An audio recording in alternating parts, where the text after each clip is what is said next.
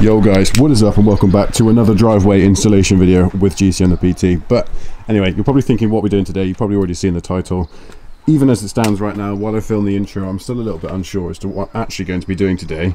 Whether it is the new Pro Ram Air induction kit, whether it is Lewis Gilbert's RS ECU holder from RST Fabrications, or whether I should be doing this double DIN install because it's sick, it does Netflix, it does YouTube, and my Pioneer DA120 doesn't. So, while I make the decision as to which one I'm going to do today, while I get involved and try and prep things for the next clip you're going to be looking at, I'm going to give you guys the intro and I'll join you guys very shortly. As always, thank you very much for the support. We'll see you guys in the next clip. GCM the PT, roll the intro. Peace.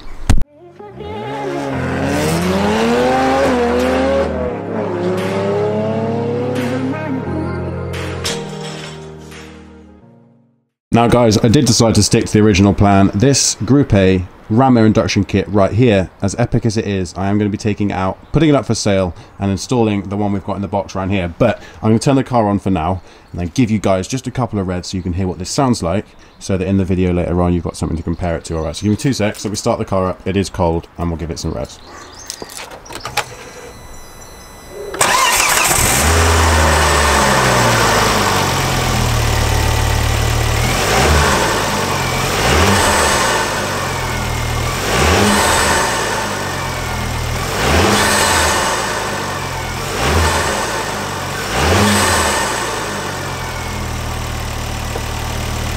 Quiet guys, got the neighbours nearby.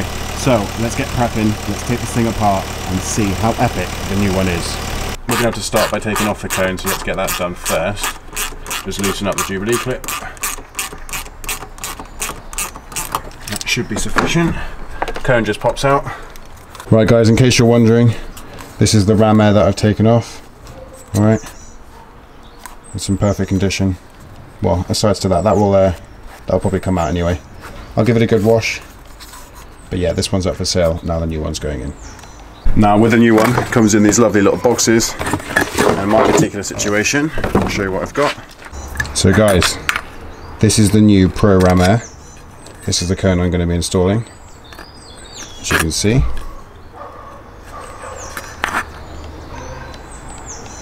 And then obviously we have this as well. So, to get that on, we'll get this Jubilee clip loosened up here. This will then slide in, and it should just plug in the same way that my old one did. So, let's get moving.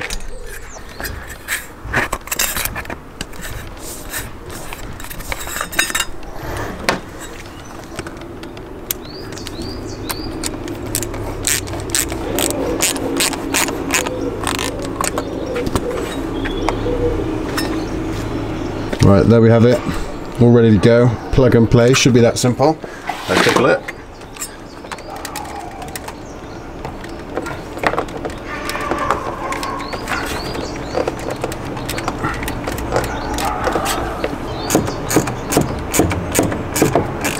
Is exactly why I wanted to do the ECU holder in one video with the Pro Ram Air.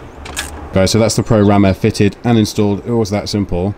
Now, as nice as it looks in the engine bay, you're probably thinking, well, what the hell does it sound like? So let's get the engine bay turned on, see if it makes any difference.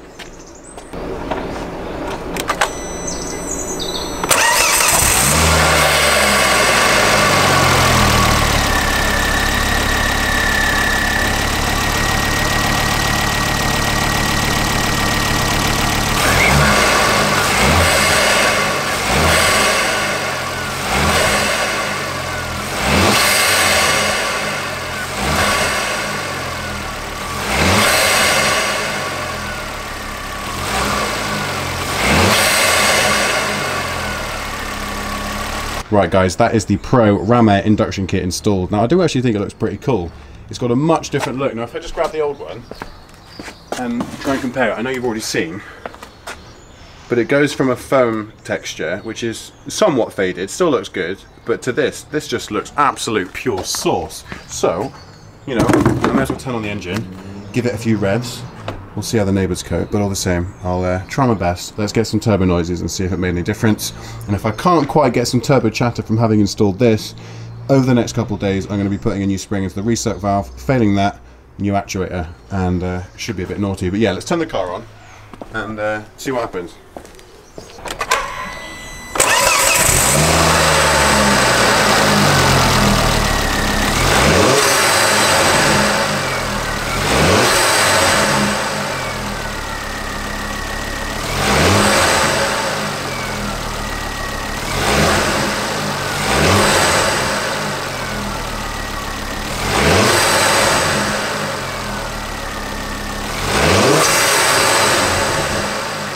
Guys, I did do my best without trying to piss off all the neighbours. There is a dog next door that's probably doing the same kind of job. Now, next on the list of jobs is to get the battery cover off, which is one of my least favourite things to do. Fucking hate this thing. Right, we do need to disconnect the battery. We're going to have to do that so we can mess with the ECU holder. Obviously, doing anything like this, you've got the starter motor right below, so you just don't want to screw anything up. It makes complete sense just to do this properly. So once the battery's disconnected, we can also look at electrical taping some wires. Obviously, in that instance, we can look at prepping them and just making sure that they are safe for future reference. I don't want to have any shortages. I don't want to have any water damage or anything, so I'm going to get all of that fixed while it's open, while it's all taken off. So let's get the battery disconnected and we'll go from there. Right, guys, we have some good news. Luke, show me your face.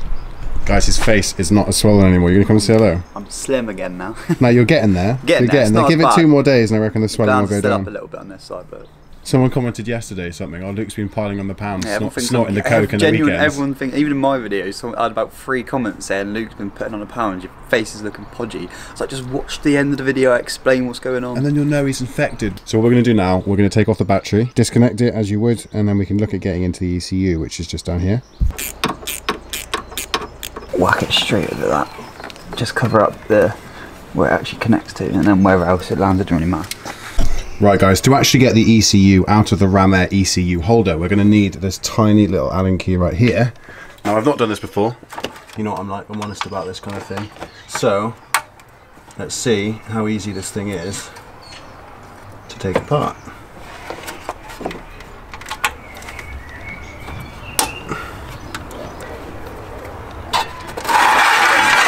There we go. So, the front panel comes off like so. Just going to put that one to the side. We've that foot part. Sorry, I'll grab it. Now guys, I am actually taking out the induction kit, ironically. Despite having um, installed it this morning. One, put that aside temporarily.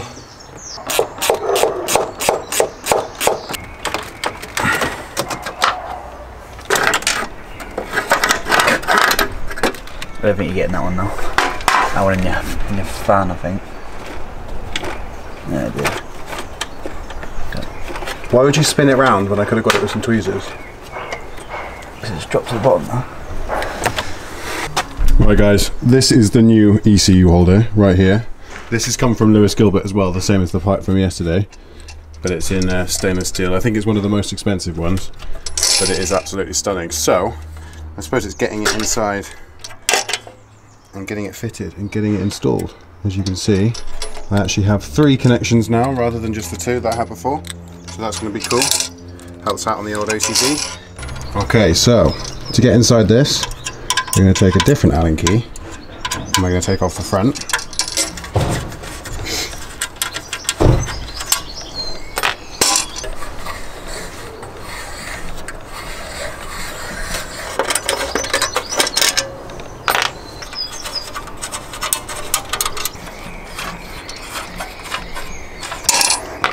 Right, so moment of truth, it should come straight off so the ECU can go straight into here. Right, happy days. Let's get the ECU plugged in and we can go from there. One, two, three, four. Um,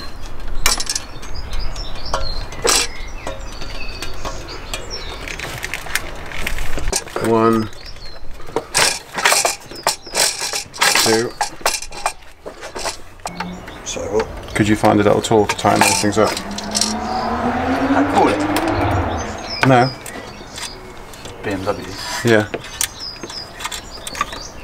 Which? What for the? No, little ones, yeah.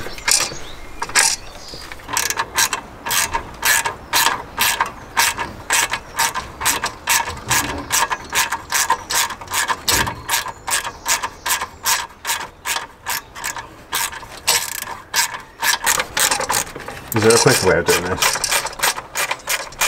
What's it up? Be patient, George.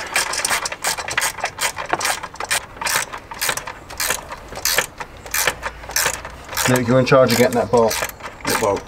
The one that fell underneath. Into the radiator.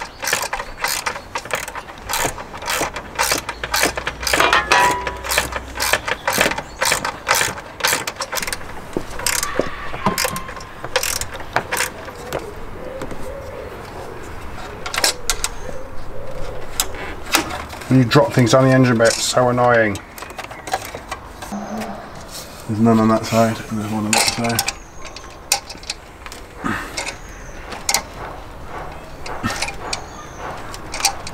Look, can you get that side off? Sean? Yeah, man. That just the bolt over there.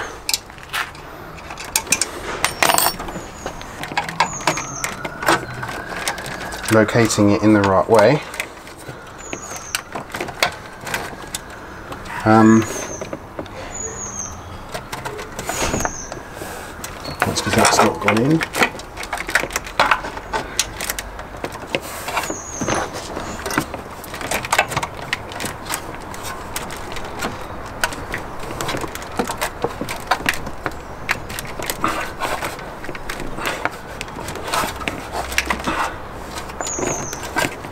And now you should be able to get those bolts that we had before, put the washer on the back of them, and then attach it in. With uh, with my older one, it doesn't have the bolt options, but it still looks sick though.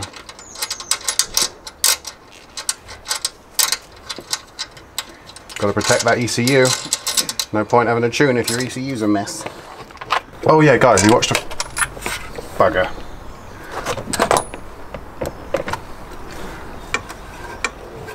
We watched a movie last night called um, The Mystery of Cell Number 7. Awesome movie, guys. I'd recommend checking that out on Netflix if you get a chance.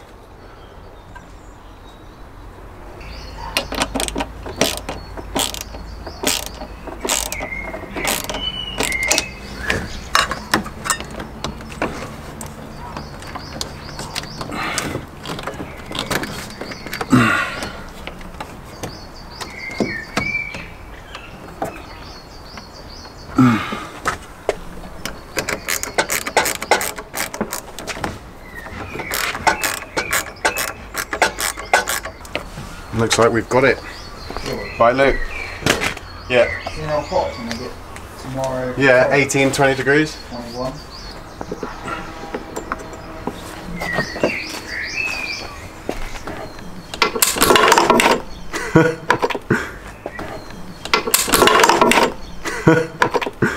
trying to tighten it up. You are literally special on another level. Call yourself an automotive fucking. Right, tighten that one up first. Just fucking. It's not going to go on, it's on the right side. on its size. Right guys, there we have it. The ECU holder is installed. It looks so sick. Obviously what I'm going to do once we start it up and checked it all works is we're going to give it a good polish, put the battery cover back on, try and cable tie it because it's crap. The design between the battery cover um, alongside having the uh, strap brace is a pain in the ass. But either way, let's get the car put back together. We'll give this a good polish and for now we'll turn it back on and hope that it all works. So look, do you want to give it the... Uh,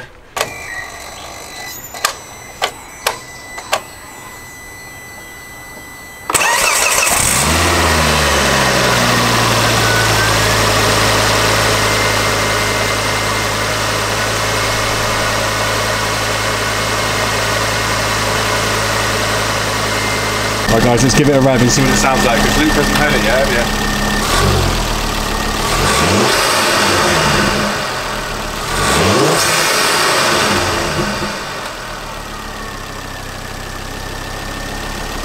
Looks like it's suitably noisy. Right, let's put you on the time lapse, let's get the carpet back together and then we can start polishing all the new bits.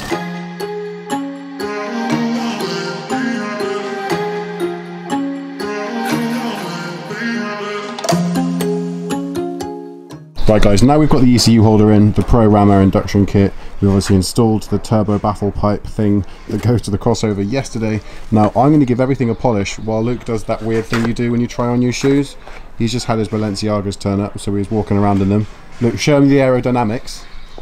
Your shoes have aero on there, don't they? They actually do. They've got canards. Where are they? I can't see.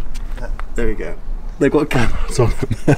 Luke's got canards I on feel his like shoes. 20 foot taller. Yeah, I've actually opened the window in the car just to let the heat out. as It's really, really warm today. Looking at getting up to 21 degrees, 22 degrees, so it's going to be nice. But yeah, like I said, I'm going to get all the polishing done. But in the meantime, I do actually want to talk to you about something. Now, while Luke fiddles with his laces on his Balenciagas, I'm going to explain why I've got a strut brace sat on the hedge. Now, the company that gave me the one that's sat in there now is perfect condition. I absolutely love it.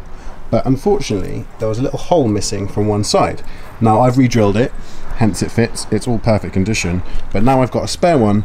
I'm going to need to know what to do with it. So if anyone wants a strut brace, powder coated in red for their Mark II Focus ST, slide into my DMs on Instagram, GCM the PT on Instagram. It's not hard to find, and then we can discuss potentially getting this one given to someone. I've got a lot of polishing to do off camera. Got a couple more bits that we might get to shortly, but all the same, guys. As always, thank you very much for watching today's video. If you do actually like the ST225 ECU holder from Lewis Gilbert. Again, as in all the videos, all the information you need will be in the description section below. So go blow up his DMs and obviously get one for yourself. Obviously, I'm pretty sure he sells crossover pipes too. Also, the inlet to uh, crossover thingy-mabob pipe that we spoke about yesterday. So if all those things will be something that you're after for your Mark II Focus ST or RS, then get in touch with him. He'll be happy to sort you out and his customer service is fantastic. So go and get that done. So Lewis, thank you very much for this. It looks absolutely sick. Super excited to go for a drive and test the induction kit at some point soon as well. I'm polishing my engine bay. I won't get the owner in it. But this, I don't know why this dog just hates me so much. I was trying to be nice to it once, he just trying to like chew my elbow off. I love Frenchies, but this dog's got it in for me, man. Now, rule number one when winning over a dog that doesn't like you is Daryl Come here. Come here. Oi, here. Here. Here we go. Oh, yes. We won't be enemies for long.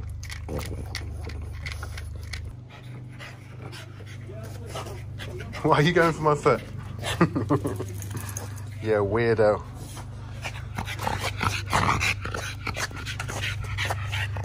I haven't got any door Dairylea. I'm sorry. Just got a Focus ST. No more Dairylea, just a Focus ST. That's all. She's just turned up while I was polishing up the engine bay. But yeah, LA car's pretty sweet. It's much nicer in person than it is in photos. I'm not gonna lie. guys, like I was saying, what do you reckon? Who would win? 313 from Bevo, 450 from Bevo.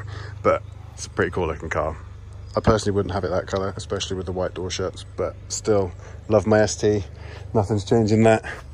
What do you reckon, guys? Let me know in the comments. Would you drive that or that? I'm passenger. It's been a while. As much as I love you, Matt Lewis Motorsport, it's getting tucked in by the visor. Let's get these harnesses on. Honestly, I want to get my cage. I can't get my fat ass in this. I can't get. I can't get them in. Luke, help me. I need liposuction is wrong with you? Just go back a bit. Put your seat back. Oh, you're in an overly built ST in Balenciagas. How do you feel? Sick. Sick one. Alright, here we go.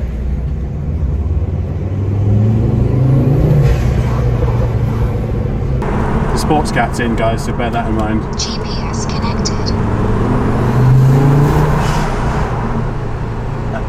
sounds fucking that's awesome, isn't it?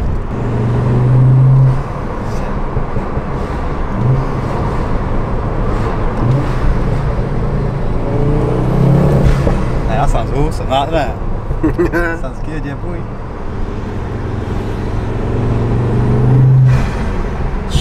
It just sounds yeah, so good. Sounds sweet. On the low, that sounds sick. No, if, like, if I'd get it, just drop like low res. That? That's awesome. Genuinely, Luke. So give them an idea as to what this feels like to drive, because you knew when I got it, when Lee Lockwood came around to my house, it was horrible. Mate, it's got there's so much torque steering these, isn't there? Yeah, that feels good. It's awesome. It's really responsive. Boost comes in like. I never had mine like mapped to the extent when I'm Focus ST. Obviously, I never had mine mapped to the extent of what George's is at now, and it's just completely different car. Like, what's that? How sick that?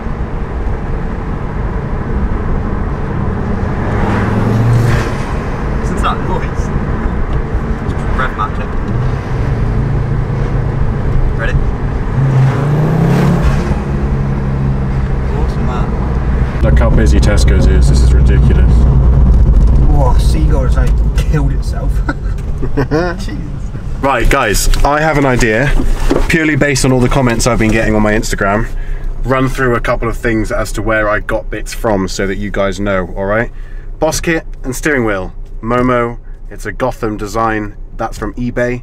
We've got the center console stuff, all the carbon dipped stuff, that's from MK Customs. We have got the gear shifter here. That's from MTech Engineering. I'm not actually a big fan of this. I love the design, but I don't like how slim it is. So I want to get my chunky one back. No sexual innuendo intended. Um, obviously the bucket seats, I got them second hand. Harnesses just came off the website themselves. JP cages, that's for the rear strut and then you've got Road Angel for the speed camera detector there and the dash cam. All right, the Ford Performance Sunstrip that came off eBay as well. You can custom them based on the colours that you want, and we've got loads of other bits that I can't even be bothered to go into. But anyway, we need to go and get some food in Tesco's, and we'll join you guys when we get back home and just see if everything is all good. Because every time I install a mod the first thing I do is open up the engine bay and check everything's everything's uh, tight enough. But all the same we're going to get this done and we'll see you guys then. See you in a bit guys. Honestly, won't get over how good that looks. Whee. what's up guys? So we just got back from Tesco's. I am just so impressed it just sounds so wicked that you would have seen from the clips earlier I don't really want to give it a rev outside, but yeah, Luke, Luke loves it too. It says it's a very addictive sound compared to the other one before. You can hear a lot more turbo down here, but then over there as well you can hear a lot more induction so I really would recommend the Pro Ram Air now regarding the actual ECU holders I think it looks so sick as you've seen in the video. So if you want to get any of those products that you've seen in the videos of recent in general just look in the description section below. You'll find all the details needed to get hold of Lewis Gilbert. Obviously guys you could consider getting yourself the ECU holder that's linked in the description section below possibly even the crossover or the pipe that goes from the turbo to the crossover or any of the induction kits. So if anything like that appeals to you and you'd like to add it to your collection like I said said, all the info is down there. Obviously, Luke's channel is going to be linked in the description section below, as always, because he's in isolation with me. It does help having him here, and we've got all the Tesco shopping in the back. So we're going to go and get that inside, end today's video. We'll see you guys in the next one, but as always, thank you very much. Smash a like on the video below. Let us know what you think in the comments. Subscribe to Luke if you haven't already, and we'll see you guys in the next one. GCM the PT, roll the outro. Peace. Peace.